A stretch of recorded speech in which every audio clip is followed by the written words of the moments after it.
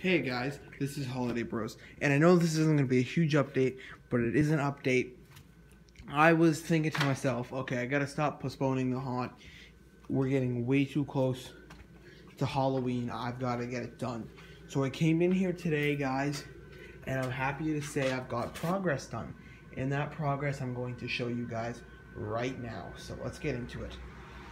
So this side right here, I haven't like completely wrapped my mind around.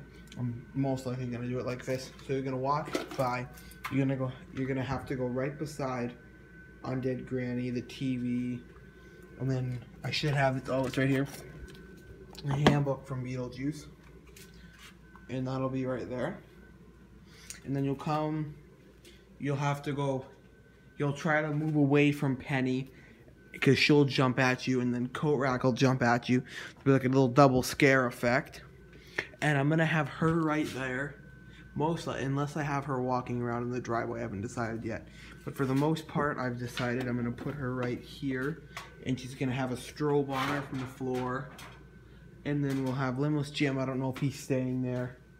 These guys are staying here. I might put like a coffee table in front of them, fill it with some body parts, make it look like a seating area in the lobby.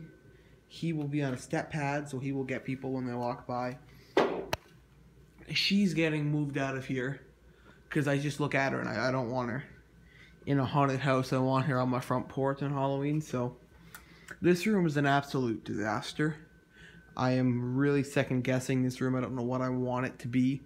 I don't know what it's going to be. This room, we've got at the hotel lobby. That's fine. That room, this room actually might be a hotel lobby or a like a mansion lobby. And then this could be like the main hall and like the Beetlejuice's haunted house. That's what I'm thinking of going with. I'm gonna make this Lurching Reaper's corner. I'm gonna make it look a lot better, a lot sooner. The alien capsule is not supposed to be in here. Uh, I've got a lot more props in storage I have to get out.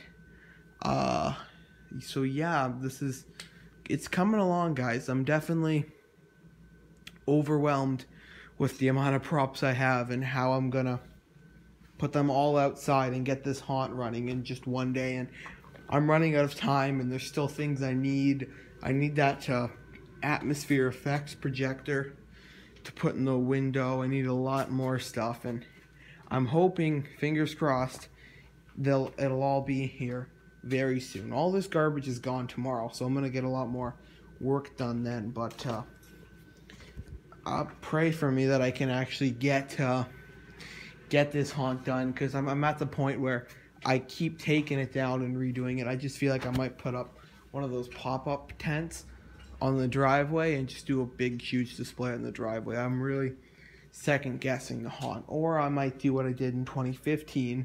I don't know if I made a video on it, but I made this one single room blocked off the back so it was just one room, open the garage door, and had uh, what's it called? And had like a little theme in here that you could look at from the outside, and you couldn't get in because there was caution tape crossing it off. I honestly think, guys, that might be what I'm gonna do this year because the haunt is just.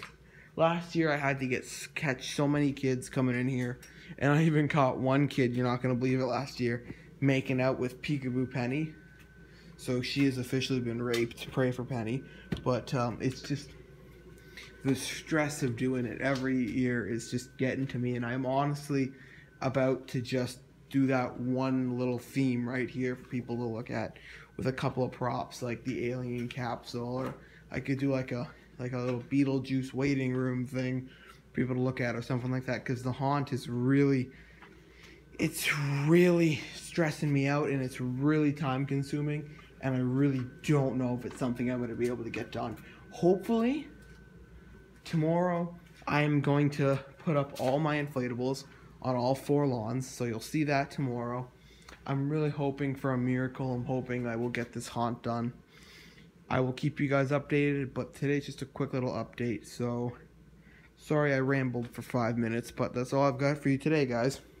So I hope you enjoyed this video. I really hope you did.